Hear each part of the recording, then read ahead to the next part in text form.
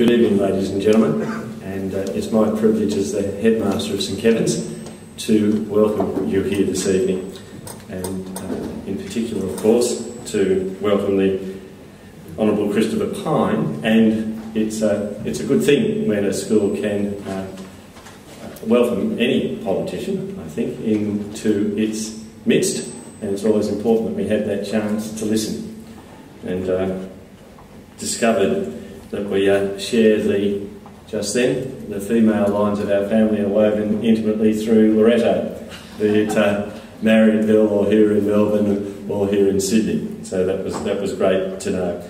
It's, of course, a real privilege to have Kelly O'Dwyer here as our local member, and when Kelly asked whether St Kevin's might be able to assist, we jumped at the opportunity because of the strong support that we received from you, Kelly, and we're delighted to be able to be of assistance. And it's also a delight to have Michelle Green from the AISV as their Chief Executive, and of course uh, Mr Ross Fox as the Director of Policy, Research and Communications from the Catholic Education Office in Melbourne.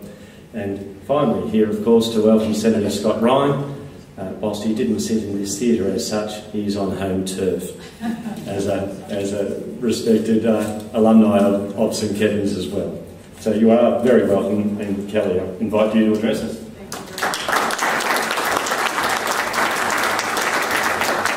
Thank you very much, Stephen, and thank you very much for hosting us here at St Kevin's. St Kevin's, of course, is one of the great success stories of independent schooling. So many of your alumni are so very distinguished and famous, and Scott, I do include you in that.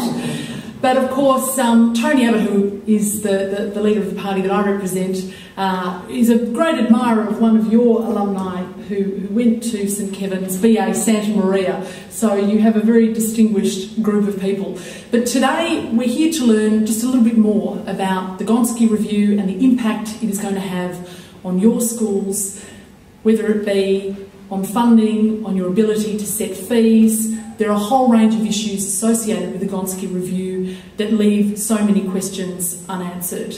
And here in Higgins, this is a particularly important issue for us because we have 44 schools in the electorate, 19 of which, if the government does not guarantee indexation, will lose $26 million by 2017. Now that money is going to have a very direct impact on the sorts of services that can be offered, the sort of programs that can be offered, and ultimately on the fees that will be paid by parents, so many of whom struggle to make the choice to be able to send their children to a school that they aspire to receive the best education.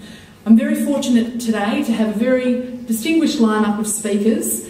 Christopher Pyne is the Shadow Minister for Education. He's somebody who's very passionate about this issue. Christopher first came to the Parliament when he was elected at the age of 25. He's travelled here from South Australia to be with us this evening to present the Coalition's policy on the Gonski Review and on the importance of funding independent schools. We also have with us today Michelle Green, the Chief Executive of Independent Schools Victoria. And just to give you a bit of background, she represents over 221 diverse schools with 127,000 students in Victoria. So she, she packs a punch here on this debate.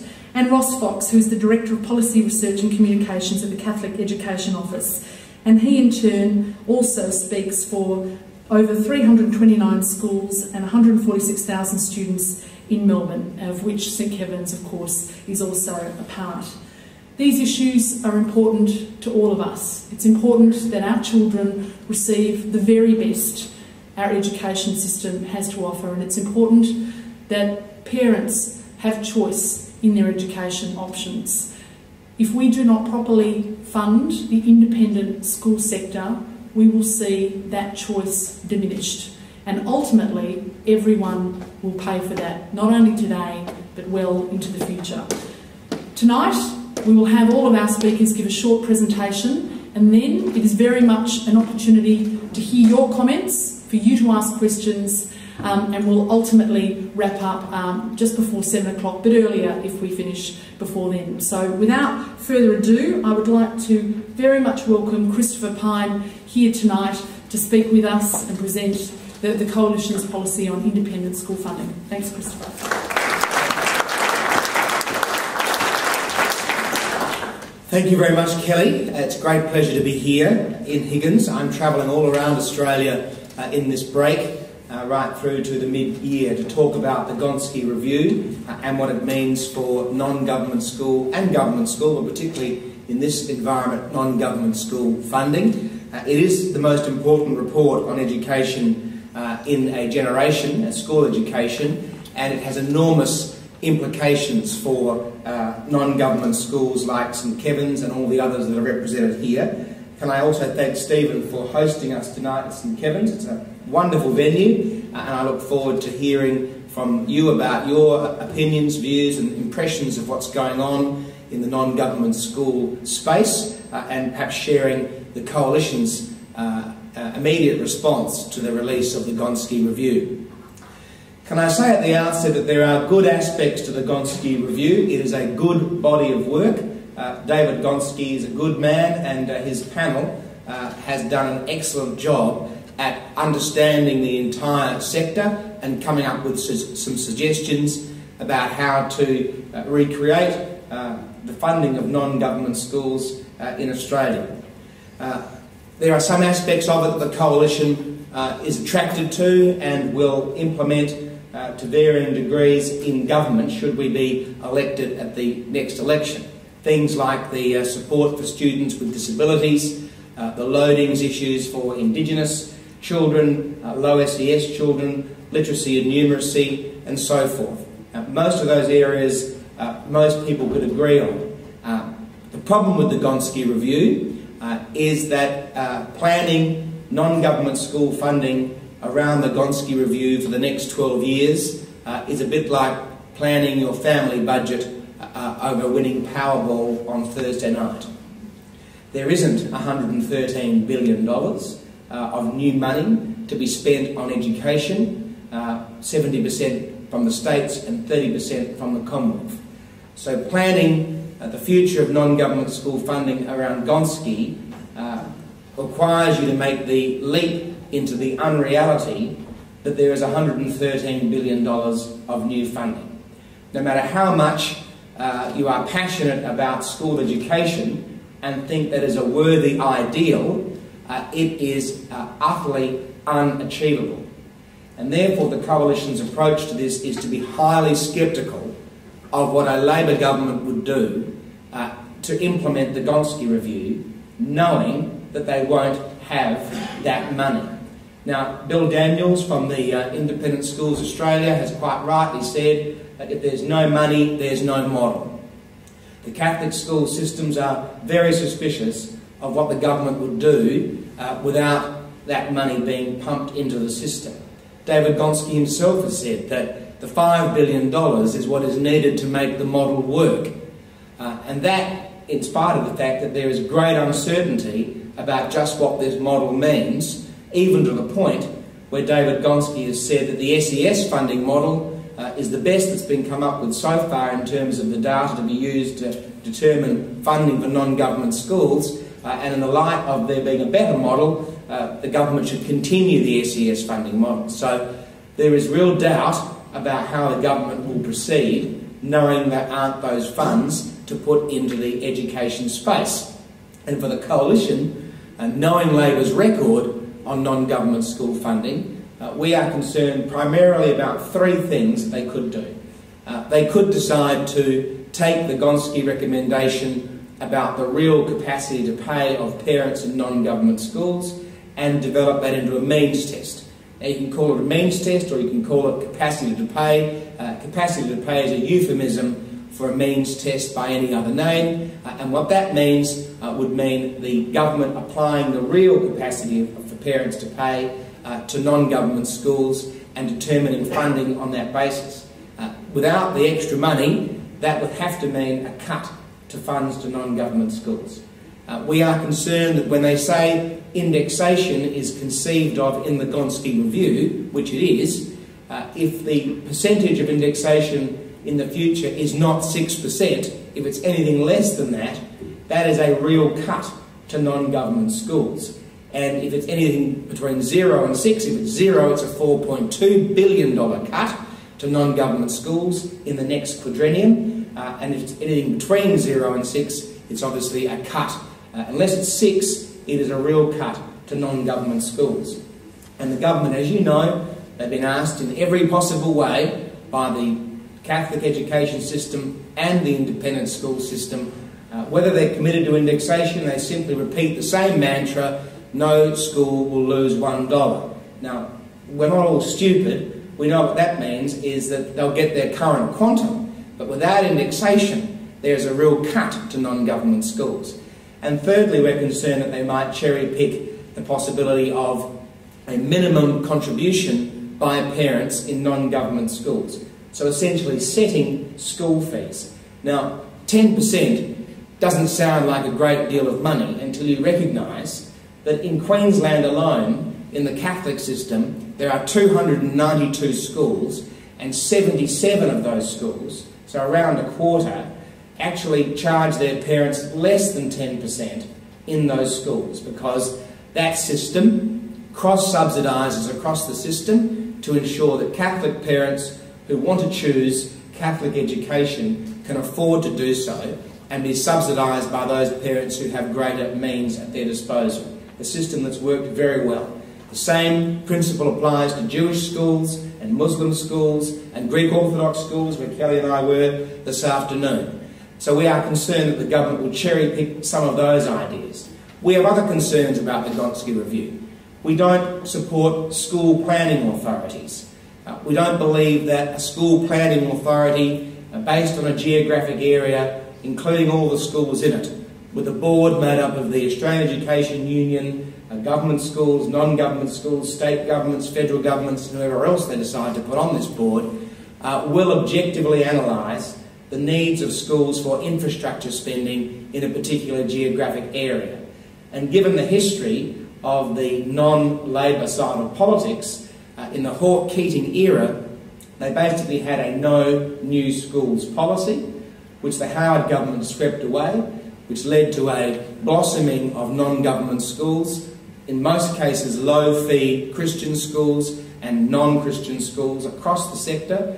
Um, this school planning authority would have the real potential to do two things to stop new schools in the non government space and stop new non government schools from having uh, the infrastructure they need in their own area. If the government has that much control over the kind of capital the schools can raise in the non-government sector and what, the, what support they'll get from government, uh, I have been in politics long enough to believe that as most of these groups always by, operate by consensus, the likelihood is very few times will non-government schools uh, win that contest for new infrastructure funding. And as you would all know, there is always a need for infrastructure funding in non-government schools in the same way as there is in government schools, and I don't think that school planning authority should determine those outcomes.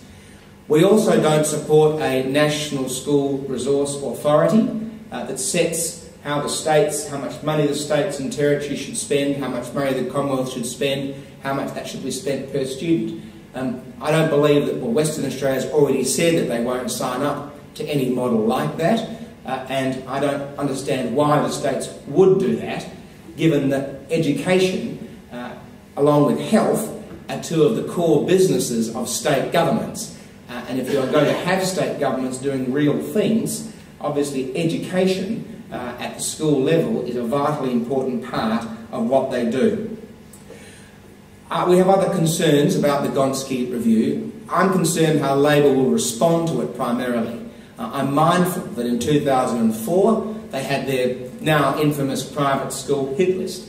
That didn't work for them politically because the non-government school sector quite sensibly said, well, they're coming for the so-called 67 elite schools this time, but who will it be next time?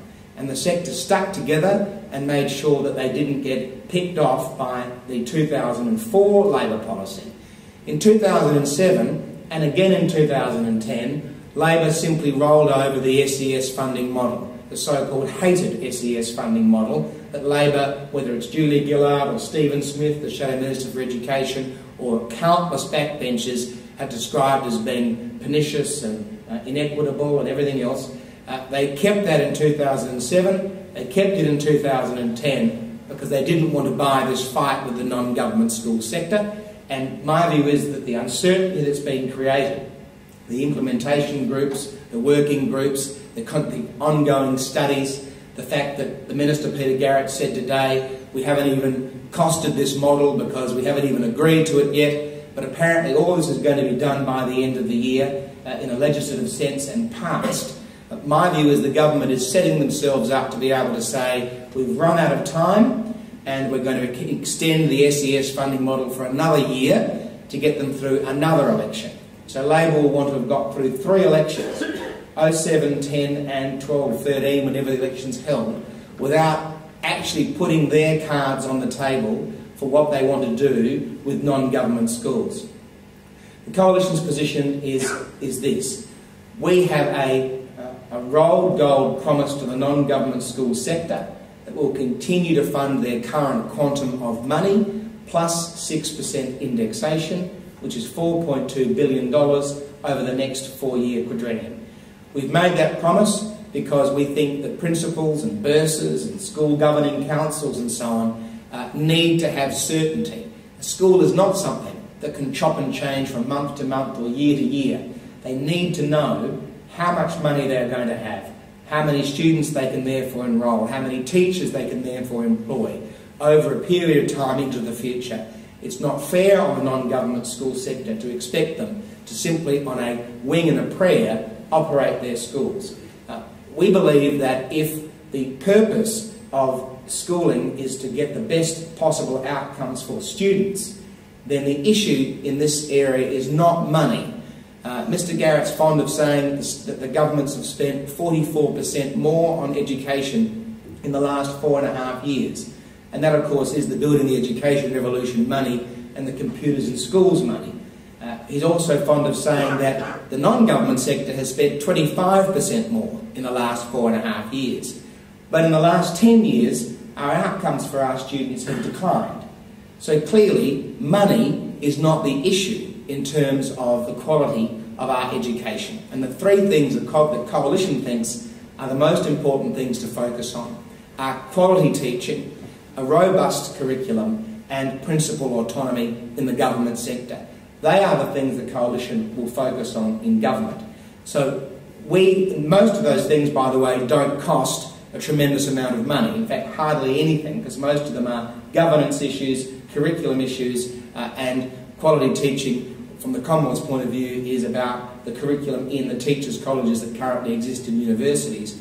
Uh, and principal autonomy uh, is something that we would work with the states to implement. So our policy is very clear. The government's policy is very murky. Uh, today, Peter Garrett said that the government was a long way from committing $5 billion a year on 2009 dollars to the non-government and government school sector. And you know as well as I do that the states do not have 70% of $113 billion between 2014 and 2025. So I might leave it there, and because uh, I know that there are other people who need to speak, and then obviously have a broader discussion when um, we get to uh, comments and questions and so forth. Thank you. Thank you very much, Christopher. And I'd now like to invite Michelle Green to speak from the Independent Schools Victoria. Thank you.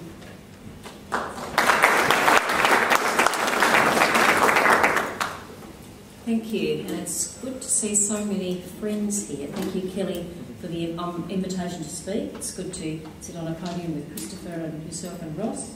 Um, and thank you also to my chairman who's here, Jeremy Kirkwood. Nice to see you, Jeremy. I'm going to uh, use slides, which means I need to be able to find. Is this the mouse here? Please, I need to be able to find these slides here.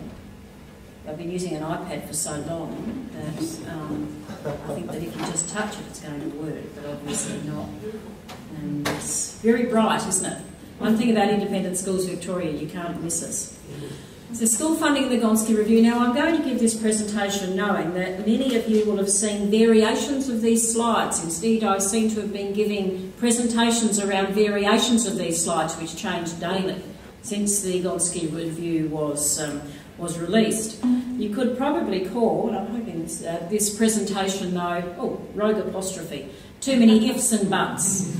People say to me, well, the Gonski Review has uh, said that there'll be more money for non-government schools. Why are you upset? Surely more money is a good thing. And I say, more money is a good thing, but this money comes with too many ifs and buts. And why? Let's just recap. The Gonski Review was commissioned in April 2010 with great fanfare. I think that uh, Kevin Rudd probably had a brain snap in the shower and thought to himself, good idea, we'll do a total review, not just a small review, but a big review. And we'll review all funding and we'll get an eminent person to head up the review. And this is what we want to do. We want to develop a funding system that is transparent, fair, financially sustainable, and promotes excellent outcomes. Fantastic thing to do. And so uh, David Gonski was sent on a listening tour of all the states and territories, and all key stakeholders were consulted. I was one of them. I think I had nearly an hour and a half, and um, I don't know if it was a listening tour so much as a discussion about very um, obtruse concepts. Of course, in the middle of that time, there was a change of government, a change of, well, not a change of government, a change of um, Prime Minister. And so by the time Gonski asked for submissions, the former Education Minister, Julia Gillard, was the, um, was the Prime Minister. So 7,000 submissions, four commissioned research papers for comment, hundreds of meetings, and the result was the Gonski report. Came down in February, 26 findings, 41 recommendations, and the projected cost to implement as you saw. Now, for those of you who didn't see, there are a whole lot of wonderful cartoons that came out um, on, as the Gonski report was released. I don't know if you can see this one, it's quite beautiful.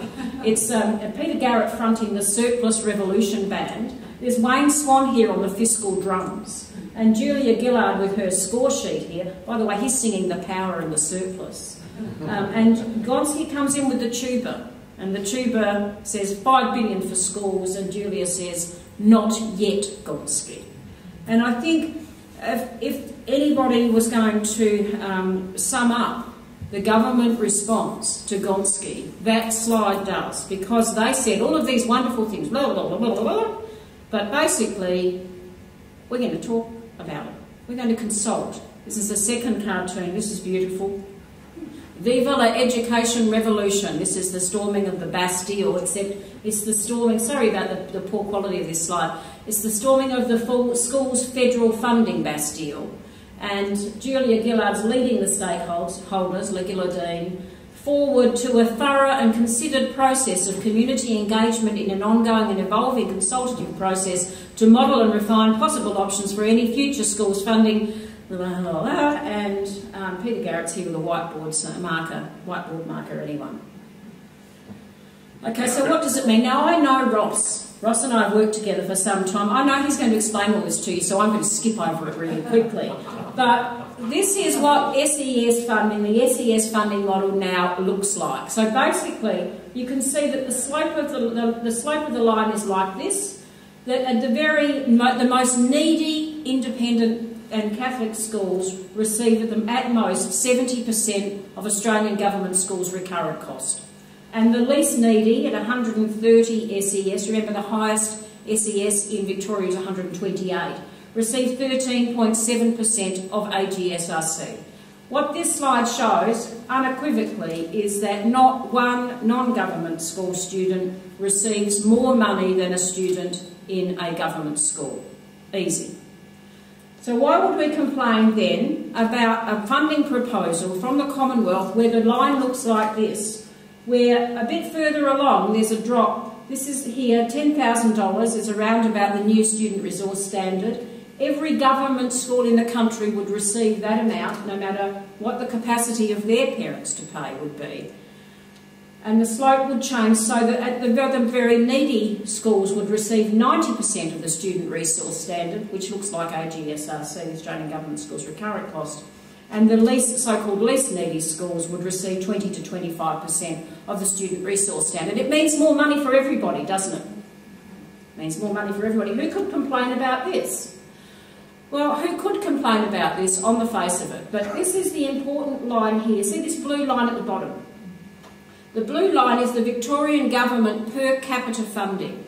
And the issue about Gonski is that the Gonski Review says that all of the money should go together into one pot and it should all be allocated out of the one pot. And the fact is that this line looks like this for Victoria. It probably looks like this for Western Australia, and it probably looks like this for Queensland. Now the issue is nobody knows what the pot would look like and nobody knows from Gonski how it is that this would be allocated. So there's a significant, this is just this one for secondary schools in case you're wondering if we only did primary. So the issue for this is no matter how you cut the figures, there's not enough certainty in the Gonski report to understand what a school is going to be paid.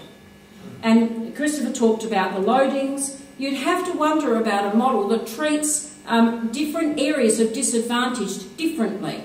Yes, we all think, I think they stole this from us actually, the Gonski Review. Everybody thinks that the per student disability, this is great, my system's shutting down. Shall I do this, see what happens? Ah. Perhaps someone's giving me a message, are they? I can move this to the side with the mouse. So move this. Right, this will be fast, I tell you. this is, is this a new way of letting me know that I need to uh, I need to finish in a hurry? Okay, how about if somebody who knows more about this than I do comes and move this while I talk fast? Because I can't, I cannot move it. All right. Press from press on. I did. No, no, it's not. Pressed on both. It's not. There's one. Here's another. X marks the spot, except if it's it's St Kevin's. Frozen. Okay. Well, anyway, so what it means here is, oh, maybe I can keep moving next slide. Why is it that you would have a disability um, loading, which is a per student loading, which is a great thing, but why would you then have concentration of disadvantage loadings, which apply to English language proficiency and Indigenous students? Because once you do this, it means that schools in Victoria and New South Wales the small in area but large in population states actually lose money. So, ah, so if accepted, these are the Gonski recommendations. Extra school funding of $5 billion. That's an extra uh, additional 113 billion over the 12-year cycle.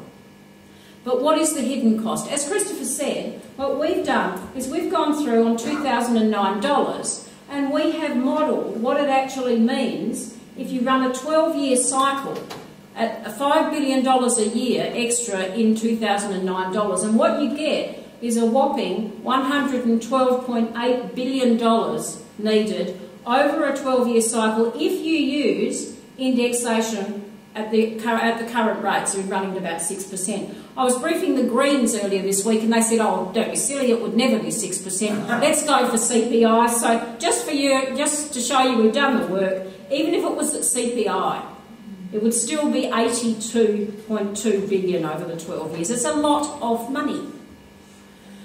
And then today, how wonderful, um, Brianna Tucker writes that um, the uh, Minister says this Financial modelling is expected to reveal that the initial call for $5 billion investment fell severely short. So if it did fall severely short, what does it do to that? And I love this clip from today. Mr Garrett confirmed, oh no, this is not from today, this is from 2011, just to remind you that he did say that we were going to legislate changes for this year, next year, 2012. If we decide to make changes and they require legislation, we want to bring legislation into the House next year and have that concluded before the next election. Now, what's the difference between these two slides? The difference is probably $112 billion. So if accepted, the Gonski recommendations are this. funding needs to be based on parents' capacity to pay. But is this means testing? Well, it sounds like means testing to me. Capacity to pay. There'll be a new system of government funding, but nobody knows if schools will get less because they get fees and donations. Because nobody knows whether that will be factored into capacity to pay. Here's the quote about capacity, capacity to contribute. And just to be fair, I did put in the quote from Peter Garrett where he said it's not a means test.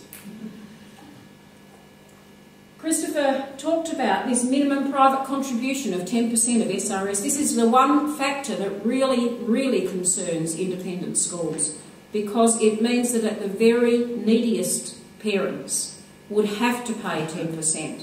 So what is that except a means test and a pretty nasty one at that?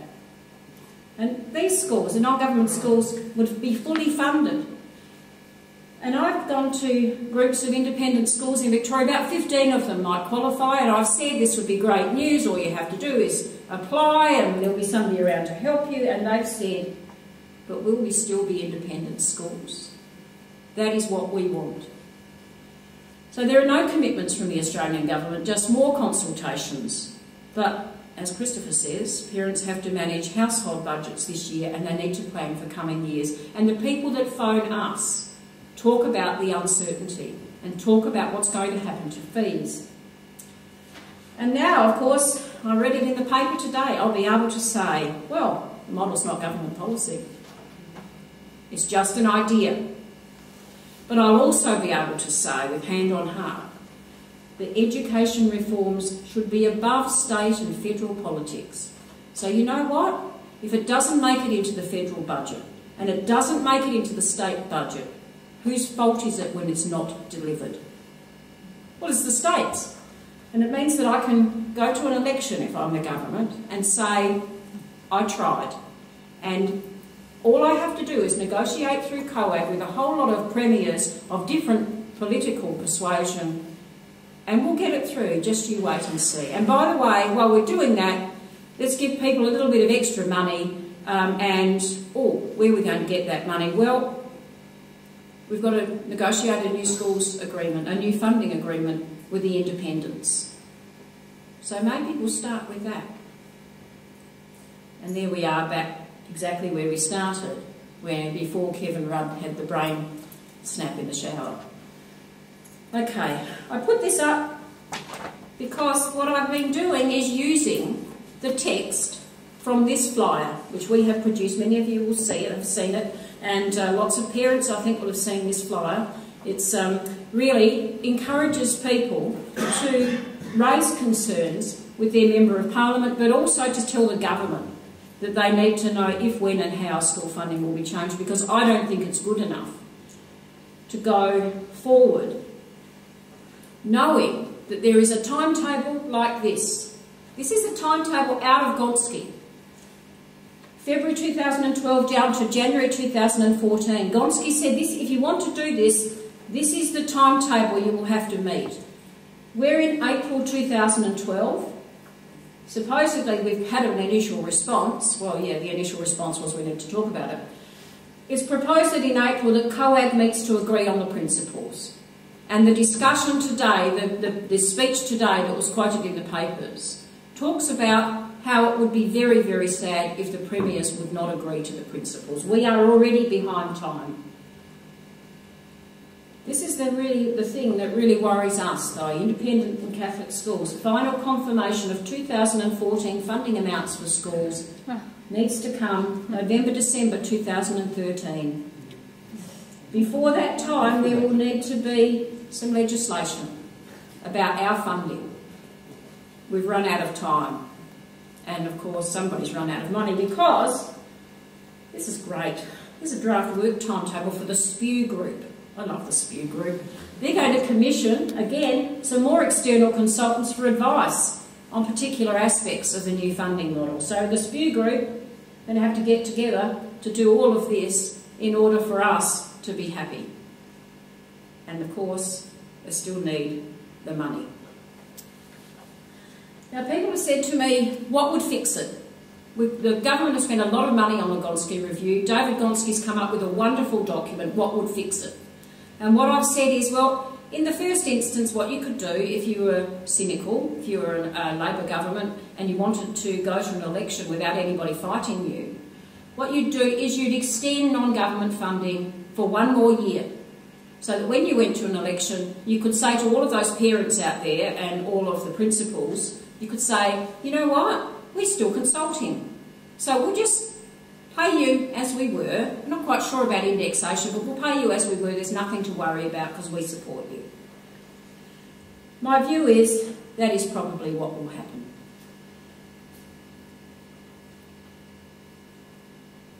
How much does this cost? How much is it going to keep costing us? And is there going to be a result that works for parents and students and improves student outcomes overall? Well, nobody knows that. I'll only say one thing more, and that is that the financial review, just after the Gonski report was released, there was a, a, um, a lovely back page article, and the article said, This government has taken on the miners, and they initially lost, but the miners are pussycats compared to the independent schools lobby. I wish that was true. We'll see how we go. Thanks.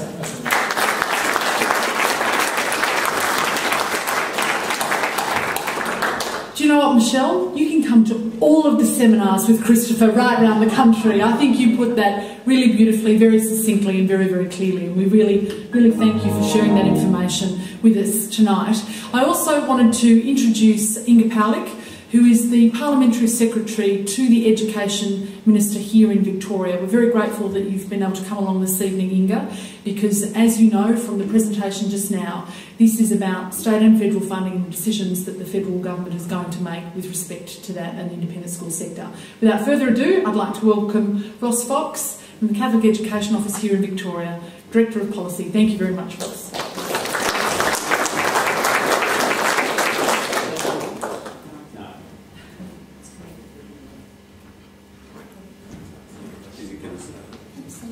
Okay. Well, I'll just soldier on, shall I?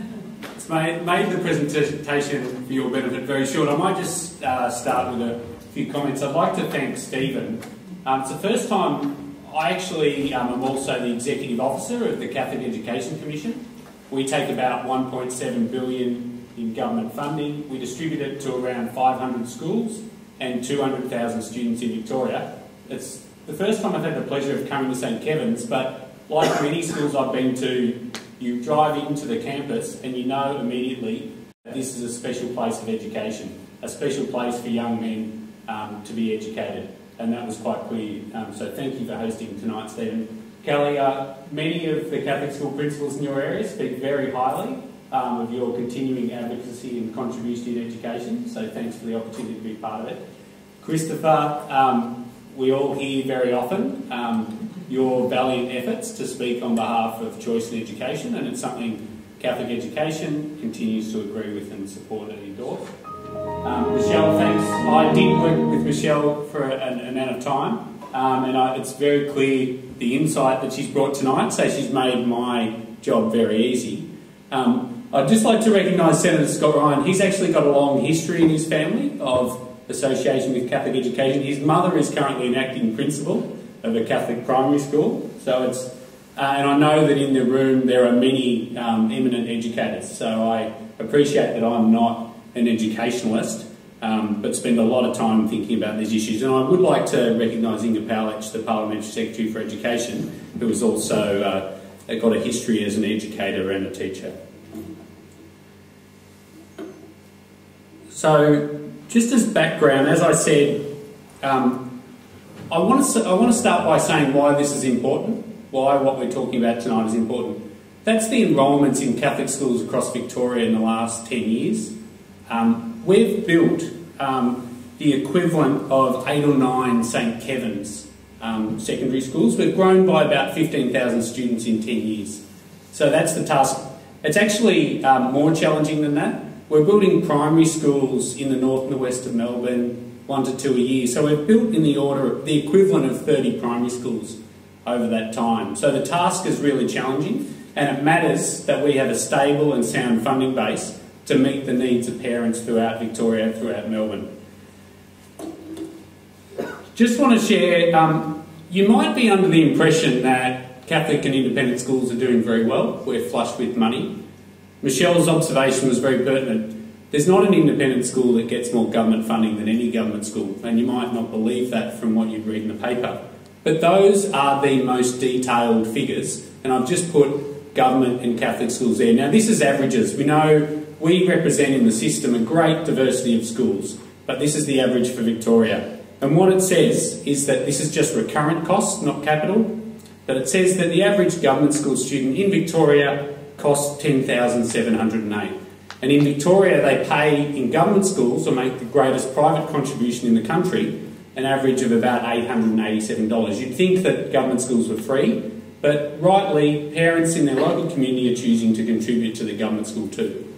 Now, in Catholic schools, um, we're operating on about $7,785 um, in government funding, combined Commonwealth state, and parents contribute on average $1,894 for a total of $9,679. So, in broad terms, we operate even with parent fees on about 90% of the cost of education in government schools and about 80% of um, the total cost, every dollar that goes to a government school student, we get about 80 cents to support one of our students. Now, the reality is that's a big saving. Parents make big sacrifices, and that's demonstrated here. So, if you read the dominant narrative, often you'd think that we were getting a lot more government funding. We've actually done some research that shows people think we do get more government funding, and that therefore any, any government funding needs to be taken off us and given to someone else. And that just is totally counter the reality. So these are the best available figures, the most detailed analysis. Now, so just to show the breakup, we're turning over just this year, we've just hit over $2 billion for Catholic education in Victoria, and that's the breakup. Um, about 64% Australian government, 17% state government, and parent and other income 19%. Now, some of these numbers will bear no relationship to what parents in the room feel or what principals charge their parents. And the reason for that is because there's significant capital costs in running facilities as great as this. Um, and every school feels that. So there's more needed from parents to support capital projects, to support maintenance, to support technology initiatives. Um, so the sacrifice parents are making, the commitment they're making is even bigger than this.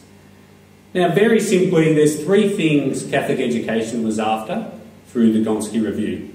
We wanted additional funding to close the gap we knew existed, the gap that's borne out by those figures. Um, and so we need additional funding because what that gap hides is the fact that we find it incredibly difficult to give the funds that students with disability need, to give the funds that Indigenous students need to support their learning, autistic children, all the children with special needs, we struggle to support because we don't have the funding to support them. The second point is we need government funding that keeps pace with actual costs, with the cost of educating a child in a government school. The reality is if our funding changes by CPI, it implies teachers' salaries have to be going up by less than CPI because we've got exposed to other costs. We've heard a lot of commentary in the newspaper about energy costs. Schools pay a lot of energy costs and they're going up all the time. So our funding needs to keep pace with actual costs, not some mythical benchmark devised in a back room. It's got to be able to support the increasing learning demands and learning needs of children. And the third point, as I said, we need fair funding for students with disability in particular and other students with other needs so that we can actually meet their learning needs and give them the best chance. So those are the three things we ask for. Now, the review panel said, now Michelle's gone in very detail. I'm just going to superficially go over it because I don't want to prolong my conversation, and there's some rich conversation that I think can happen um, with the panel. But as we, we know that they've said 5 billion, we understand that's, that means about 750 million for Victoria as the Victorian government contributing. Um, the reality is the Department of Education is cutting central costs and in that environment, it's very difficult to find another 750 million. The Victorian government's recently had their GST revenue cut by about $4 billion over four years. So there's just not much money around. And the idea that Victorian government can find 750 and the million and the Australian government can find 1.5 billion. Particularly today we heard the Treasurer saying we've got to return to surplus. It's very difficult to work out where that money's going to come from. They recommended a new funding model, which I'll describe briefly, and they recommended, as Michelle indicated, uh, funding based on a school's capacity to contribute. And really, that, that name hides a lot of things, a lot of concepts, because they're really talking about parents. That's the quote that Michelle put up it's parent capacity to contribute.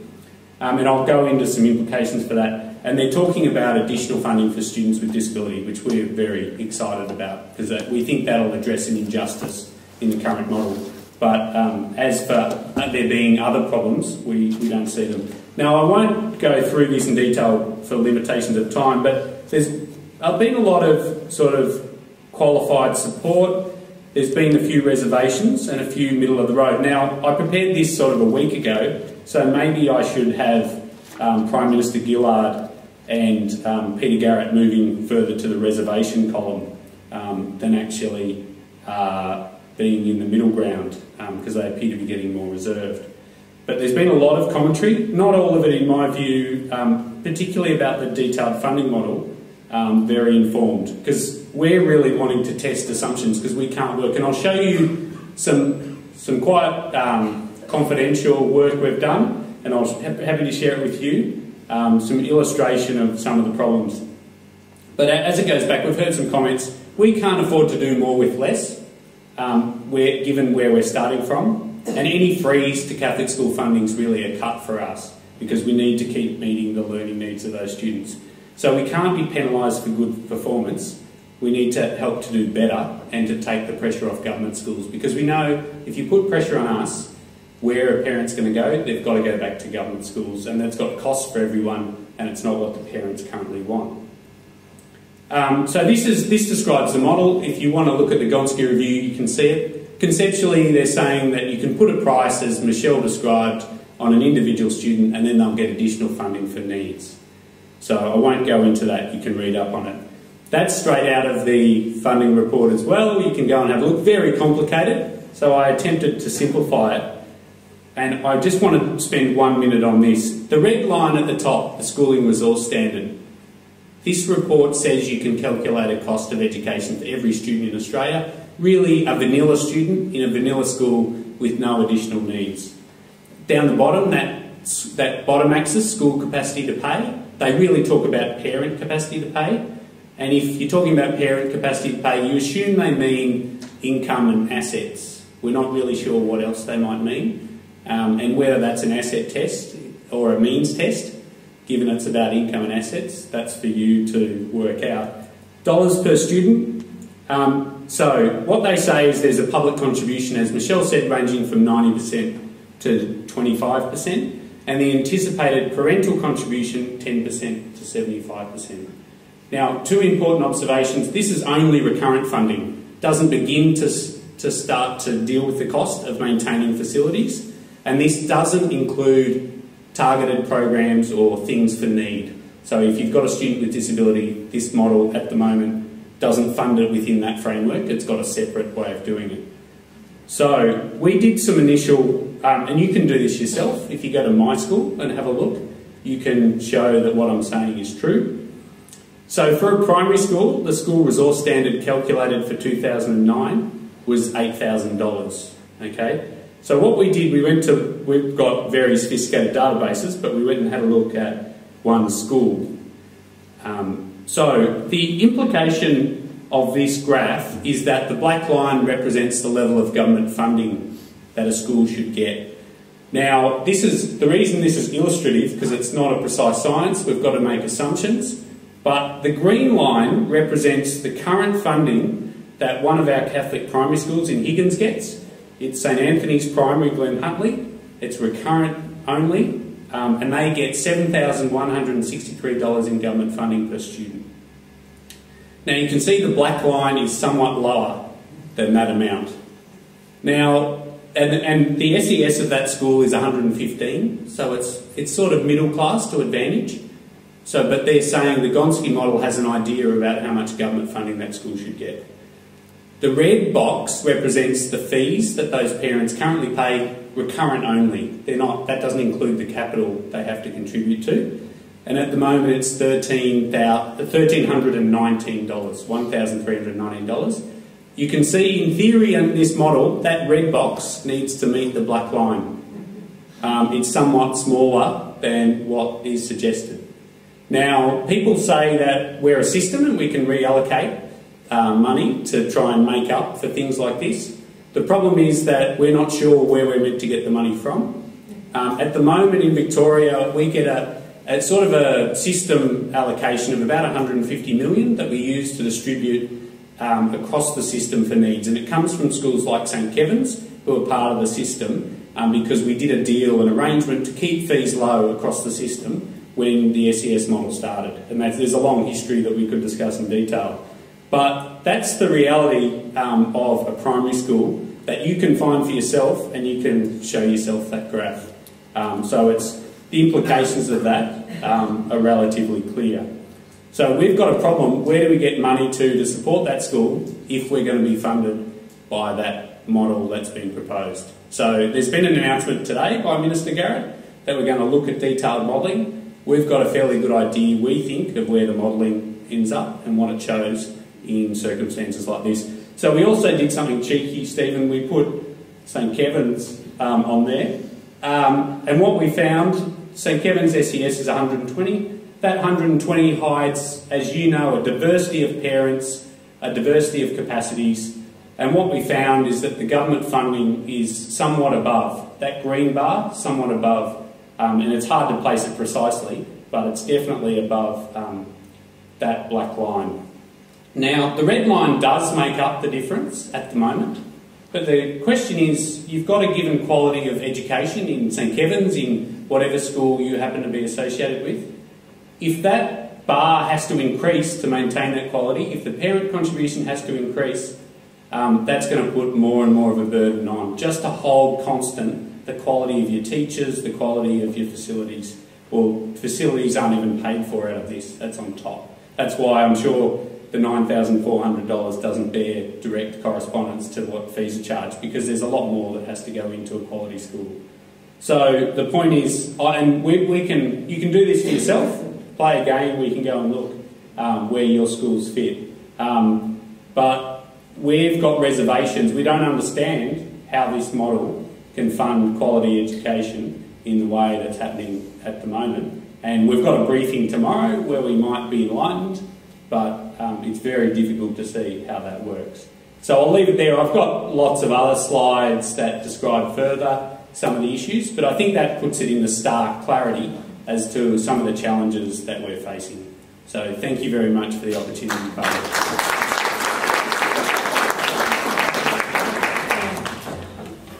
Look, thank you very much, Ross. That was um, that was a very powerful illustration of exactly what we're concerned about here tonight. And we now have the opportunity over the next uh, 20 minutes uh, to seek comments from the audience, any questions that anybody might have of any of the panellist members. The only thing I would actually ask that you do is state your name, the school that you're part of, and who you would like to direct your question to. So I think, I'm not sure if we do have a microphone, but Lachlan's got a microphone that he'll um, bring up to anybody who might have a question that they would like to ask or any information that they would like to share. Do I have any starters? Is it all crystal clear for everybody here? Everyone's in shock. Everyone's in shock. Well, um, while somebody's actually thinking about a question they might ask, uh, I, I think what is borne out by the presentation from all of our speakers tonight is that we need to provide further information to schools and to parents in particular about the implications that will flow from changes to independent school funding. I know I have so many very esteemed principals here in the room, in the Higgins electorate, and so many school councils, uh, chairmen and treasurers, and uh, interested parents as well. And I think the key takeaway for me is that despite the fact that I have delivered now three speeches in the Parliament about the importance of this issue, each one of us needs to be able to go away and activate the communities that we are involved in in order to provide them with information so that they too can ask the questions that need to be asked so that we might get the answers from the government on this. Now, any other any questions that I might have here? Does anybody on the oh yes yes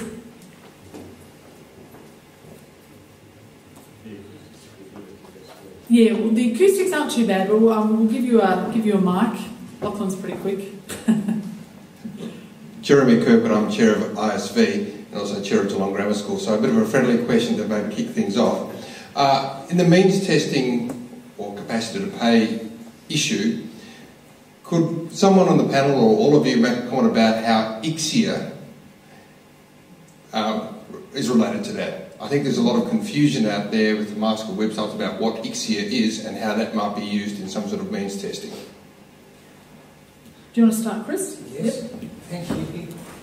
The, um, thank you, Jeremy. And uh, it was one of the things I would have covered, but they wanted short speeches, so I left it out. But I mean, one of the uh, the tests that the coalition is going to apply, or is applying to our response to the Gonski review, is the uh, is an objective test, is an objective model. Now, the SES funding model is apparently, you know, the worst model ever devised uh, except the, all the others, which uh, because it hasn't been replaced. Uh, and it is an objective test. It's based on the ABS data collected in the census, and uh, it's obviously a criminal act to, to lie on the census. And I don't know anybody who bothers to lie on the census because you simply get it and you fill it out. Now, the SES funding model is based on that data. Uh, the problem with the Gonski Review's response to that is they've thrown up hints and suggestions of what else could be used beside the SES funding model. One of those is the ICSEA score. Now, we know that the ICSEA score is very dodgy. Apparently, the most privileged school in Victoria is the Montessori school in northeast Victoria, uh, where the principal themselves pointed out the gutters that were overflowing in their school because they didn't have uh, uh, infrastructure spending to fix them. And yet, ICSEA says they're the most privileged school in Victoria. Uh, one of the most privileged schools, Geelong Grammar would be a bit of a surprise to like Geelong Grammar, Jeremy. But the, the other school that was apparently the most privileged school in Australia was a school of about 20 Indigenous students uh, west of Alice Springs, which I think would have come as a surprise to the principal of that school too. so the ICSEA score is not reliable. The other hint that the Gonski Review gave was that they could use the NAPLAN to determine resources because they were picking reference schools uh, of schools that had had 80% uh, success rate with the NAPLAN scores. Well, the NAPLAN data was never designed to be used as a resource uh, base uh, for schools. It is a diagnostic tool. Uh, it is useful for principals, for teachers, for some parents who can understand it, um, but it's not a resourcing standard. And I think it's a fundamental flaw of this model to suggest that NAPLAN should be included uh, as part of the resourcing standard. Uh, it flies in the face of uh, what we already know about NAPLAN, which is that it's also unreliable. The publication of the NAPLAN data has led to uh, isolated cases of cheating by teachers, changing scores, uh, but we also know two things that are not isolated. Uh, teaching to the test uh, and also asking particular students to stay home on the day that the NAPLAN is being conducted. Um, I have twins and I also have a nine-year-old and a four-year-old. The twins are 11 and a half, so I have a very unique insight into how the NAPLAN operates. Uh, and while I certainly won't put any teachers in, I know one of my children, who's one of the twins, didn't even know the NAPLAN was occurring until the day the NAPLAN test happened, and the other one had been planning for the NAPLAN for four or five weeks before it occurred, uh, and that is because of the publication of the NAPLAN data. Uh, if the NAPLAN data wasn't being published, it would be a pure diagnostic tool uh, because it is being published, it is being distorted. So that's the last um, uh, data that should be used to determine this resource. Yeah. Are there any journalists in the room? Jewel Topsfield. Wonderful. Read my lips. Index of community socio-economic educational disadvantage. Not economic advantage. ICSEA is actually ranking people based on their education scores, and it's not a very good ranking. So the issue is, when Barry McGaw and ACARA set, this is wonderful all these acronyms, isn't it? When ACARA set up ICSEA, they said ICSEA should never be used for funding.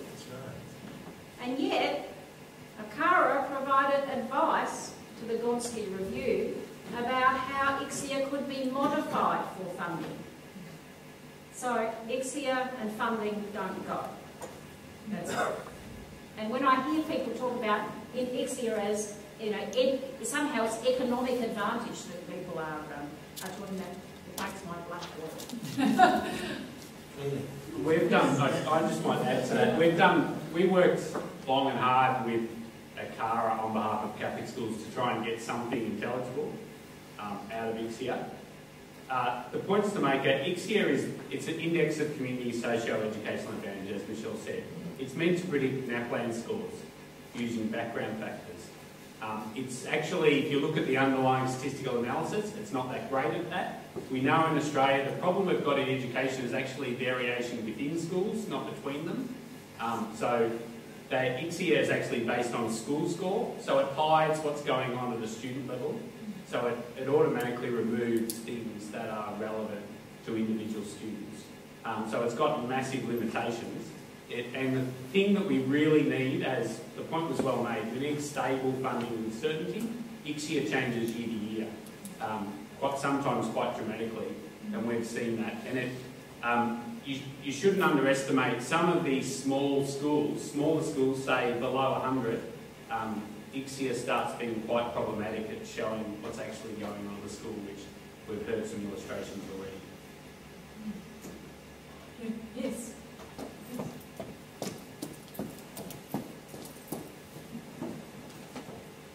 Can everybody hear if we speak from here? Yes. Great. Um, hi, my name is Alan Blackwood. I'm uh, representing Children with Disabilities Australia tonight, and I, was, I have to say I'm very pleased with the uh, the support Christopher um, already um, given for the, the disability-related um, thinking in Gonski, and also to Michelle and Ross for highlighting the disability as one of those areas that really has to come up to the mark. Um, one of the one of the things that we know, um, you know, we, we, talk about some things not being all about money, but money is obviously important. Um, there's a lot of issues around disability where you know it's individualised funding. Children can can get, if they're lucky, get some funding and go to a government school. Um, and if that doesn't work, and for a lot of families it doesn't work, um, partly it's because of a mismatch of you know personalities. Sometimes schools are naive, sometimes parents are naive.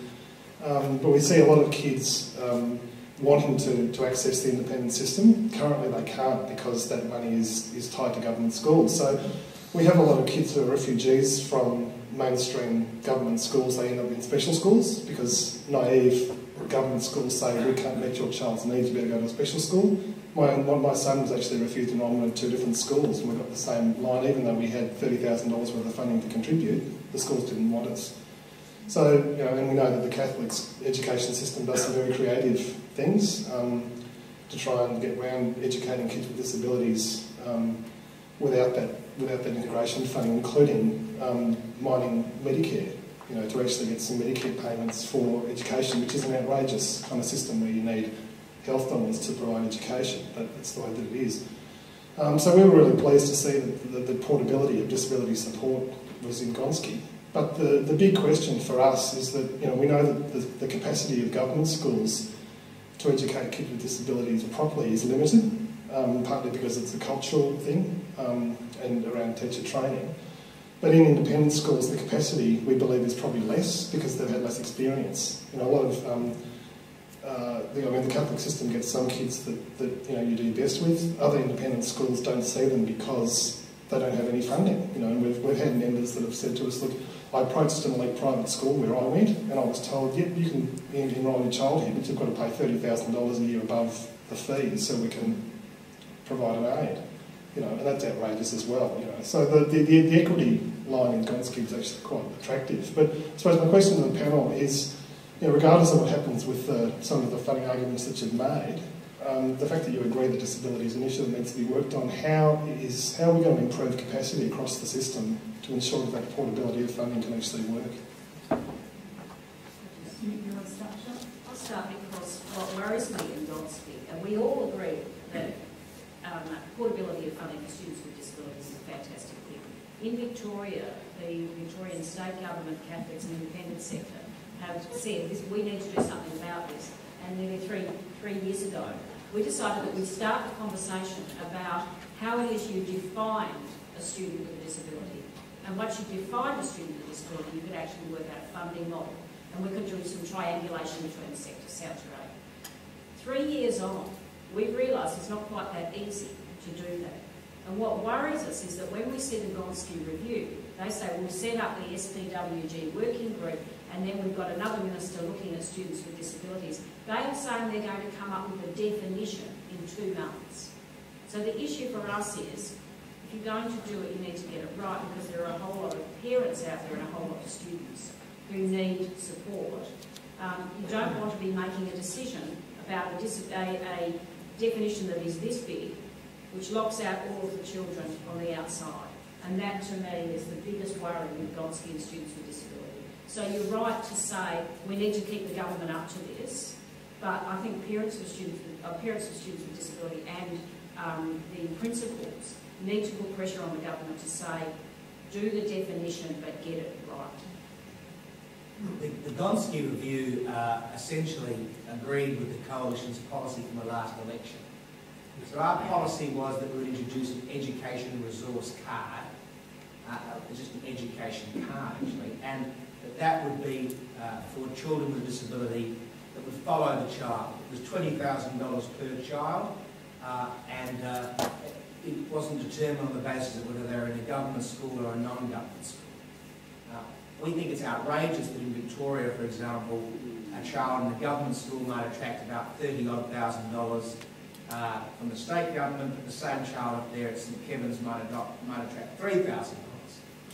For the coalition, we see that as a social justice issue, uh, and so we also didn't want to get caught up in the weeds of negotiating with state governments about their funding. Uh, we also didn't want them to say, well, if you're going to put X amount of money in, we're going to take Y amount of money out.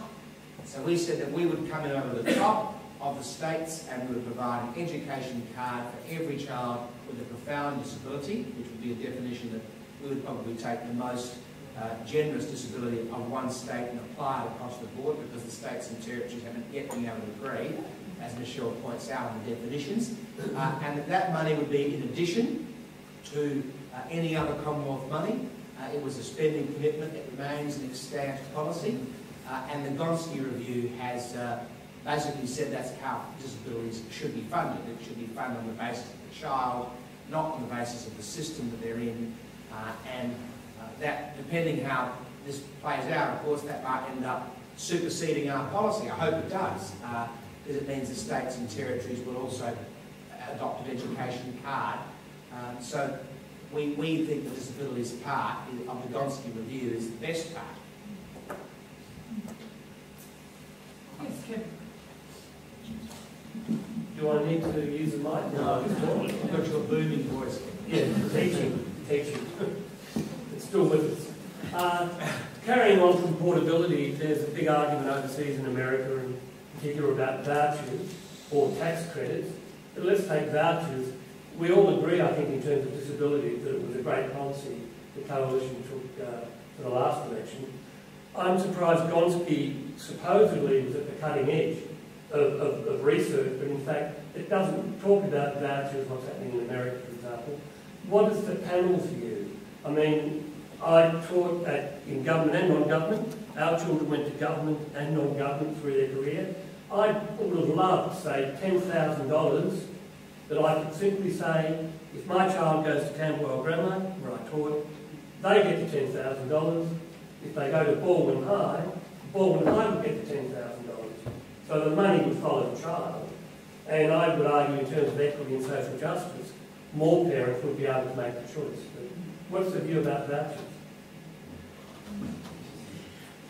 Nobody wants to answer, so I'll answer. um, well, Kevin, uh, I'm a political pragmatist and a realist. Uh, my view is that if the coalition government is elected, and touch wood they will be, uh, we will be bringing about a quiet revolution in education uh, rather than all the fanfare of the last four and a half years, which has produced essentially nothing good. Um, and the, the, real revolution in education uh, is principal autonomy, it's teacher quality, it's how teachers are taught at university, it's raising the standard of teaching so that it becomes an attractive profession. Uh, it's about the curriculum, uh, it's about governance, things like what the Western Australian government have done with independent public schools, what New South Wales is starting to do, that's going to be quite a lot to chew on. And uh, uh, what I'm trying to do as the education shadow is fight the fights that uh, need to be fought now. And right now we need to create certainty for non-government schools about their funding. Uh, we need to stop state governments from exiting this space. We need to do good things for disabilities and bring about a, a quiet revolution as described. Now, vouchers is not a quiet revolution.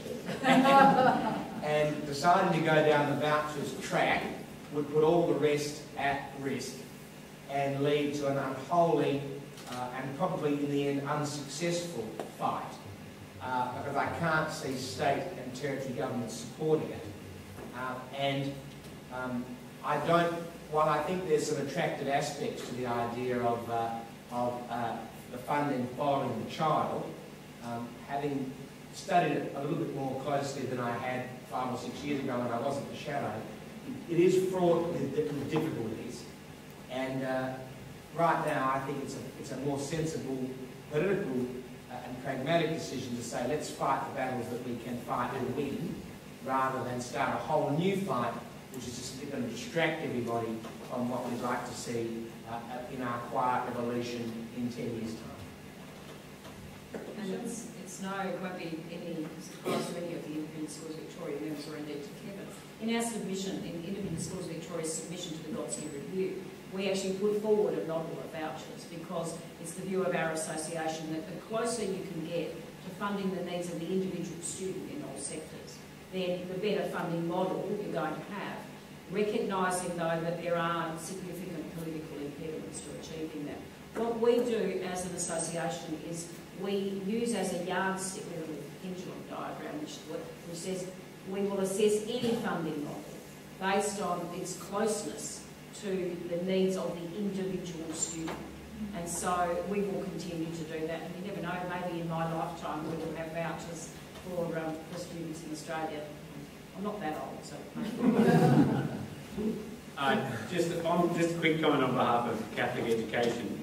Um, Catholic education hasn't seen a voucher model that we're in favour of yet.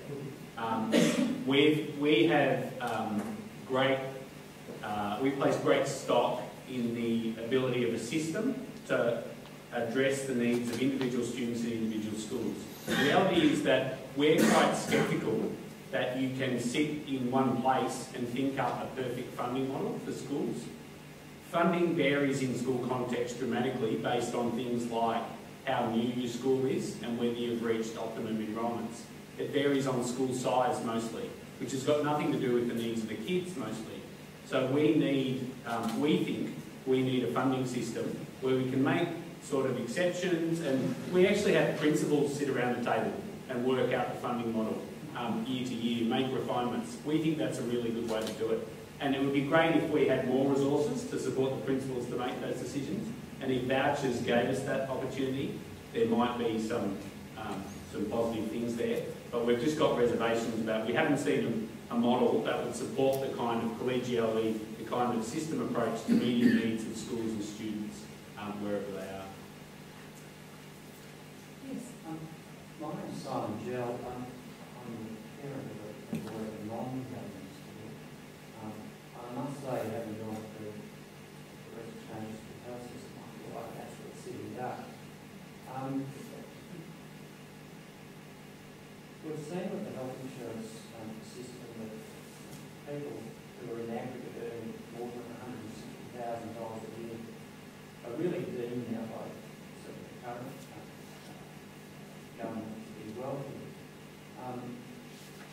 what in aggregate earning more than $160,000 a year are really deemed now by the current government to be wealthy. What, in terms of um, funding of government schools, what's the panel's view about um, whether which so-called, I don't think there's a system of uh, identifying which are rich government schools and which are not, uh, non-rich government schools. But it seems to me that you're a government school and you get what you get and no regards back to the sort of community in the government schools. In Victoria, we have marvellous uh, government schools like uh, Balwyn High, Camberwell High, and a whole range of other schools where there's really a stampede to get into those schools. And similarly with selective schools like uh, Melbourne High and uh, Robertson Girls High, where I don't know what the fees are for all these uh, schools. On, on that model up there, uh, these schools are getting about 887. Uh, these schools are expecting 1987. I went to Melbourne High School I think the fee was $2,000. What's the panel's view about making so-called wealthy people in, in the government sector, making them pay fair whack as well? Well, well, you correctly identified that we do have some very good selective schools in the Cedar Higgins, for instance, I do not have any government secondary school other than Melbourne High, which is a selective school, which people need to compete to get into that school. So the options for parents within the electorate here are effectively independent schools, which is why I'm such a passionate advocate for this particular issue. Um, on the point that you raise, there is nothing at the moment that would say to somebody who can afford to send their child to an independent school but chooses to send them to a government school. There is no pricing for, for that particular individual at the moment.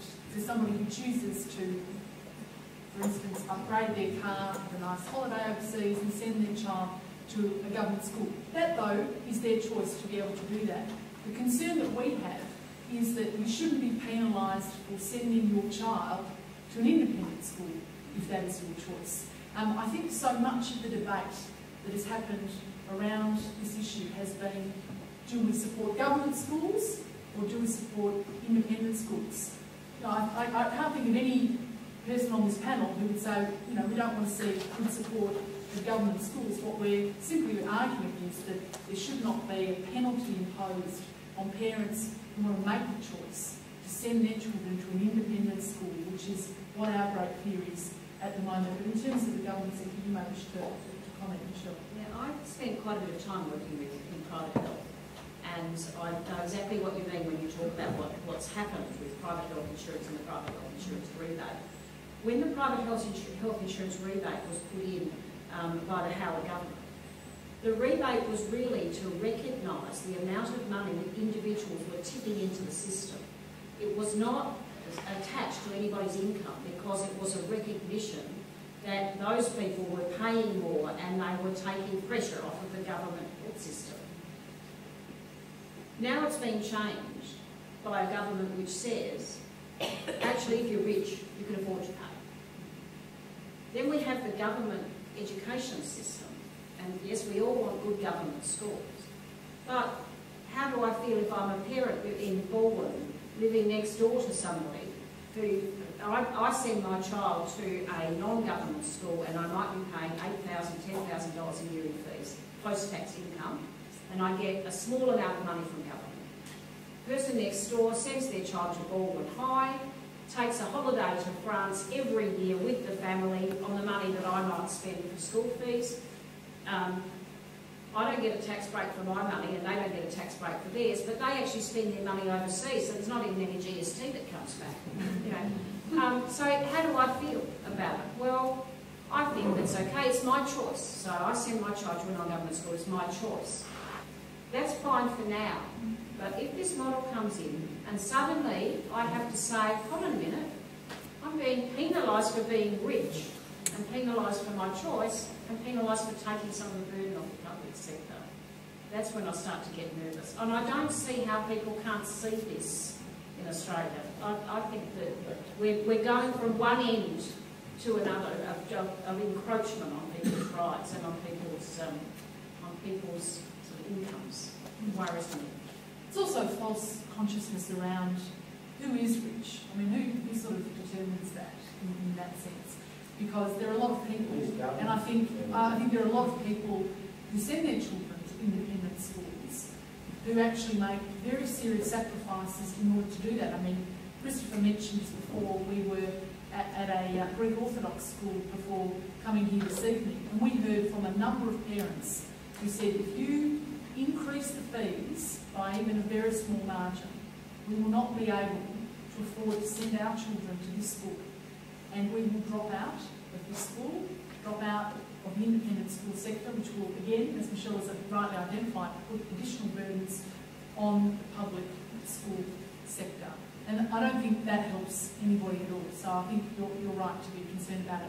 Now, I am very conscious of the time because we did say we would finish at 7 o'clock tonight, but I, I would say if there are people who would like to ask other questions or seek further information, uh, Tanya Coleman, who has done such an amazing job in organising the forum tonight, with great assistance from Lachlan, both of whom work for me, um, with great assistance as well from Pauline, who works for Stephen. Uh, there are some sheets there. If you would like to get in contact, we will make sure that your question gets directed to any member of the panel here and we will respond as quickly as possible. Um, from a personal sense, I'd like to very much again thank you, Stephen, for hosting us here at St Kevin's tonight and to all our panel speakers, you know, Christopher, Michelle and Ross for their very insightful comments.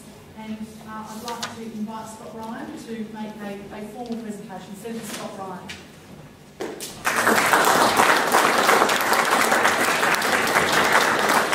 Well, thank you, Kelly, and thank you, um, everyone, for coming along. I, Kelly asked me to come along to St Kevin's today as an old boy of the school. Um, I can honestly say I am where I am today because I was at this school. I'll let you judge whether that is a good thing or a bad thing. um, this is a fantastic school. Um, this centre wasn't here. There were only two buildings here when I was here 20 years ago. And one of my close friends from school was on the board. He said to me he knew we were all getting a bit older when one of us had joined the school board. But um, firstly, I want to thank Kelly for organising tonight. Um, Kelly is uh, one of my oldest and dearest friends, but she is a passionate advocate um, for the people of Higgins. And there is really no more important issue to many of us, and I'm a first time father a few months ago, um, than that of educating our children. And I can honestly say there are few more forceful people about the uh, value of education, the choice in education, and the sacrifices that people made, including Kelly's parents, who I know, to give her that choice, and ensuring that future Australians have the same choice. So, Kelly, congratulations on organising this evening. I also like to quickly acknowledge Inga because the state government, Victoria, Inga and Martin Dixon as the minister have been very forceful of Gonski, in fact some of the most forceful of any states around the country and I think that's very important because as Kelly Christopher and Michelle and Ross have pointed out, um, no one level of government can fix this but sadly one level of government probably could screw it up and it's very important to have um, the state governments who run so many schools and their voice represented. Um, it's my duty to formally thank the participants. So to Pauline, if you could come down, I have a small presentation for you. Um, the people that make these schools work are important. My mum's a principal in Moonee Ponds, and I know how important the staff who make things work are. So Pauline, on behalf of Kelly and the team, thank you very, very much.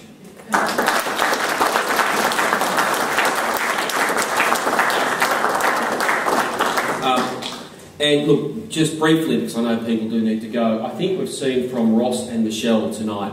Um, in Canberra and around the country, the voice of Independent Schools Victoria and the Victorian Catholic Education Office are regarded as the most informed, the most potent, um, the most well researched. And I think from Ross and from Michelle, we have seen exactly why tonight.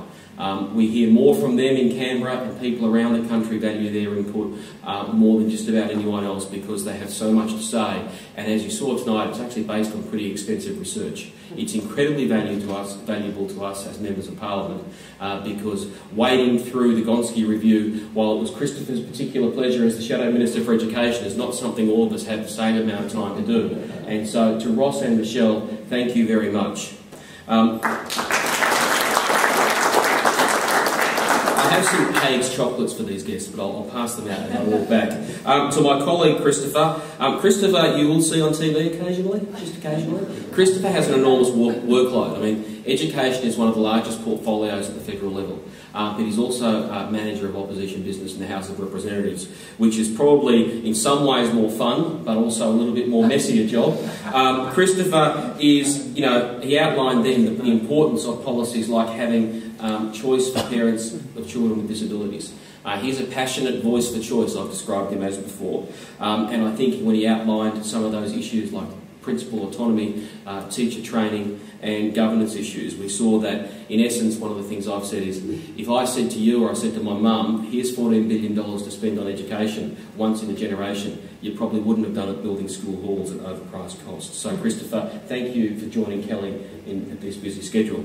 Um, and finally, to Stephen, thank you very much. It is very kind of you to open your facilities to the community and to Kelly and this forum. Uh, you're a critical part of this community, um, and St Kevin's is a school that's flag flies particularly highly. So, thank you very much. Thank you.